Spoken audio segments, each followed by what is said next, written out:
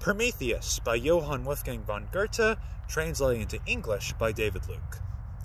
Cover your heavens, Zeus, with the fog of clouds, and try your arm as a boy beheads thistles against oak trees and mountain heights. You still must leave, my round earth standing, and my hut which you did not build, and my hearth, the glowing home fire which fills you with such envy?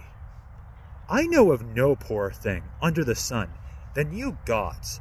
Wretchedly you feed your own majesty on sacrificial offerings and the breath of prayers, and you would starve if children and beggars were not fools full of hope. When I was a child, not knowing my way about, I would lift up my deluded eyes to the sun, as though beyond it there was an ear to hear my complaint, a heart like my own that would pity my anguish.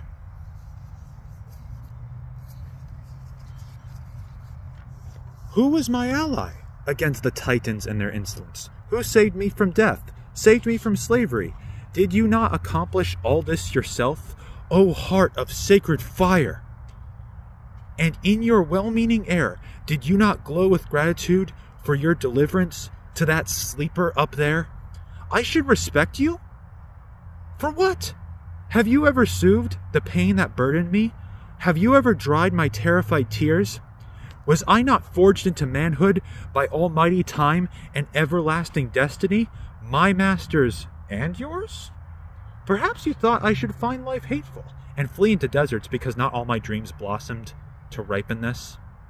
Here I sit, making men in my own image, a race that shall be like me, a race that shall suffer and weep, and know joy and delight too, and heed you no more than I do.